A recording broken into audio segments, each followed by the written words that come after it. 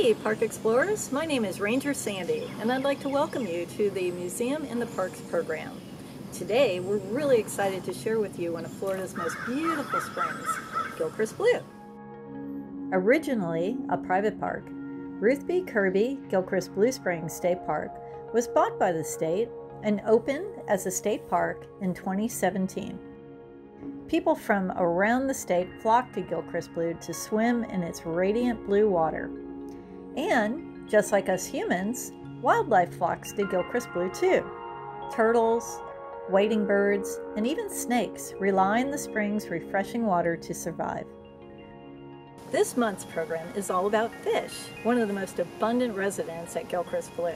From tiny mosquito fish to largemouth bass, fish rely on our springs being clean and healthy for their survival. So today we're going to explore different places in the park as you look on your hunt for fish and also different ways in which you can explore the park while you're here. Your first stop should, of course, be the gorgeous Gilchrist Blue Spring, spewing an average of 44 million gallons of water each day.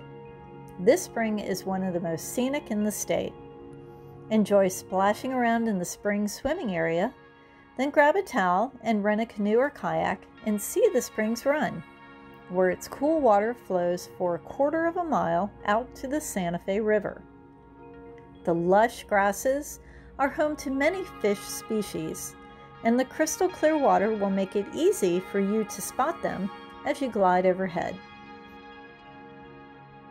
Once you've had your fun on the water, Follow the short path from Gilchrist Blue to Naked Spring, another second magnitude spring whose water flows into the same run as Gilchrist Blue.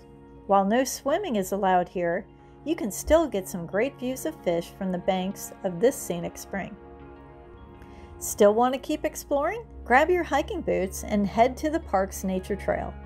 Just under a mile long, this trail is full of deep sinkholes, secret springs, and even a 350 year old tree. Named Eric the Giant, be sure to get a picture next to this towering cypress. By the time you finish your hike, you'll be ready for one last dip in Gilchrist Blue to end your adventure.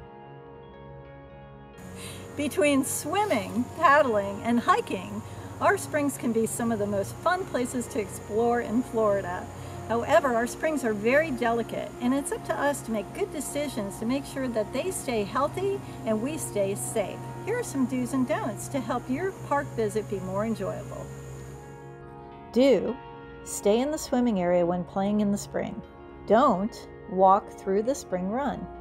The spring run is full of grasses and other plants that are important to the wildlife who survive in the spring.